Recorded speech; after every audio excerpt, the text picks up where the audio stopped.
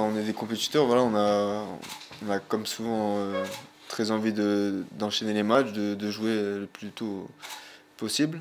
Après, voilà, ça nous a fait du bien aussi, puisqu'on on se ressource euh, mentalement avec euh, nos proches. Et psychologiquement aussi pour rattaquer la, saison, pour qu'on continue voilà, d'enchaîner les, bonnes performances, d'avoir des, bons résultats et puis s'occuper de nous surtout et de continuer à avancer pour voir euh, où on en sera euh, pour le sprint final euh, après la trêve. C'est une belle équipe, voilà, ils, ont, bah, ils sont en confiance déjà, parce qu'ils sont sur deux victoires d'affilée. Et voilà, offensivement, ils sont en confiance aussi. leur attaquant a mis pas mal de buts. après, je pense qu'on a les, qualités pour mettre en difficulté cette équipe. Voilà, on va, on va rester costaud défensivement, car on est à domicile, on n'est pas à l'abri d'un contre.